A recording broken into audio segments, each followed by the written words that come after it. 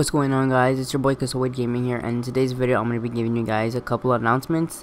This video is pretty short, like legit, this video is really really short. I'm just going to be giving you guys a couple of announcements. So announcement one is going to be that me and the Guardians of the Crest, well basically my clan is going to be recruiting. Currently there are 7 of us on the clan on Xbox One and we are recruiting for you guys. All you guys got to do is click the link in the description down below um, the link should not be there. I said that in the other video that the link would be there, but it wasn't there, and now the link should be in both videos. I just updated it. So yeah, guys, the links will be in the description down below if you guys want to join me and play with me in the Guardians of the Crest clan, which I am the co-owner of. The second announcement I would like to talk about is I'd like to teach you guys about the making like double classes, like making a double warlock class or a double hunter class, double titan, you know, stuff like that.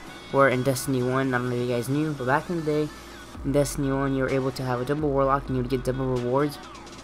Well, I don't want to let you guys know that in Destiny 2, you guys cannot do that. I am, um, I was watching YouTube videos and a couple of my friends were have double accounts and they weren't getting high enough flight. And now the thing is, if you have two characters, like let's say you have two warlocks, right? That's just an example.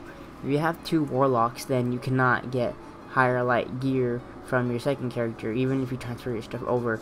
As I don't know if some of you guys do know, but there's a method where you high, get high enough light on your main character and then transfer your weapons over to your second character and use that as light.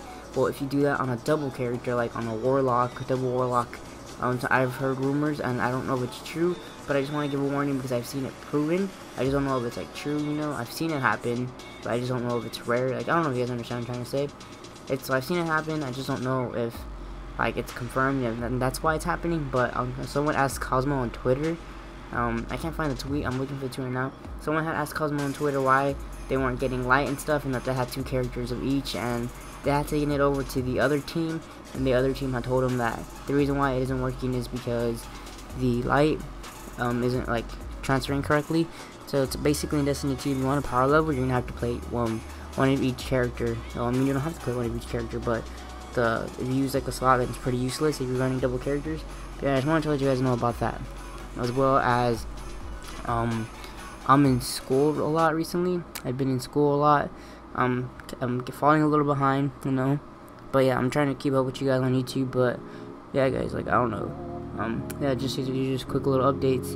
Anyways, guys, I just want to let you guys know about this. Sorry, this video is really short, but I'm Kasway Gaming. I'm signing out. Don't forget to smash the like button and subscribe, and don't forget to join the Guardians of the Crest. Alright, later, guys. Have a good one and take care. I was scared of dentists and the dark. I was scared of pretty girls and starting conversations. All my friends are turning green. Yeah, the magician's assistant in their dream.